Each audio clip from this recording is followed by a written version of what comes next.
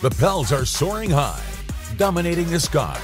Now they're headed to the Sunshine State, taking on the Miami Heat tonight at 7 on WDAM 7 ABC. Don't miss a minute of the action. Watch the Pels take on the Heat tonight at 7 on WDAM 7 ABC.